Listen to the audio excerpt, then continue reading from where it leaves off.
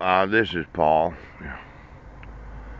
I'm sitting here. It's about 6:30 in the morning, and I didn't get any phone calls. and I thought I should call you because uh, I'm sitting here waiting for somebody to enforce the laws. now it's one of those situations where it's kind of drizzly out. It might even rain today, and then I'd have to stand up for most of the morning and. That's always irritating, not a, being able to sit. but as I had thought, you decided you weren't going to enforce the law, didn't you? you thought, no, as long as we're obstructing his rights and we don't enforce the actual laws of the United States, it's his problem because we don't have to enforce the law. excuse me. Mm-hmm. Woke up at 6 a.m. Sleeping on an air mattress where I was looking for a hole in the mattress. For some reason, it doesn't have the air pressure. Yeah. Then I got to think it could be the air pump itself. No.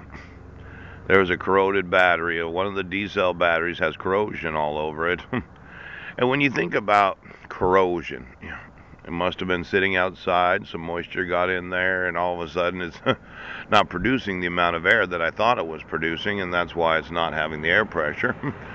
so the nice part is it's probably not a hole because it did hold air all night, but I didn't sleep very good because I can't uh, roll over. and as frustrating as it is,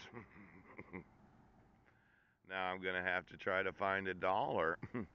You know, I have 70 cents in my pocket. I don't have enough money for a coffee refill.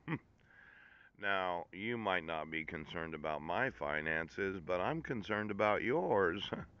Did you sleep in a bed where you could roll over without uh, being stuck in the middle of it and having to experience half of the comfort of having a bed because it's better than sleeping on a hardwood floor, but it's is really not that good, and you're thinking, well, I, you you have a nice bed.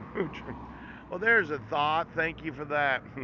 you know, I had purchased two Tempur-Pedic beds while I was married to Heidi, and you know they're one of the more expensive beds. I think I paid about twenty-five hundred for each of them.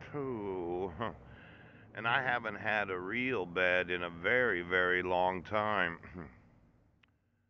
you know, when you're not concerned about my comfort, I'm not concerned about yours.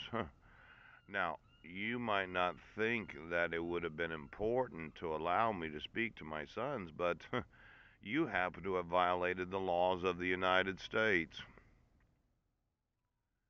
Is your personal comfort more important than mine? Now, when was the last time I was able to sleep in a comfortable bed? I had slept on a bed when I was house sitting, but the spring somehow had a spring that that it wasn't that nice of a bed. Oh, it was well. if you didn't sleep right, you could. oh my gosh. And then before that, where was I? Oh, I was in jail for 27 days. Do you remember that experience? You ever slept on a mat in a jail cell knowing that you should not be there for a failure to appear because your public defender wouldn't give the evidence to the judge that you weren't in Sequim, Washington?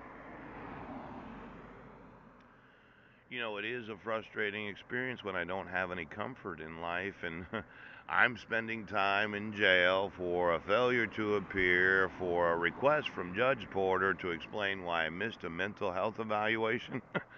when I'm thinking to myself the whole fucking time, well, you know what? I wasn't in Sequim, Washington. So if you looked at the video surveillance camera, you would have had no case against me. Coach. now, these prosecuting attorneys and these public defenders that think that it's so important for you to have comfort in life, I wouldn't have spent 27 days in jail because I wouldn't have had to have explained to Judge Porter why I wanted to reschedule the mental health evaluation. If somebody in the police fucking department right now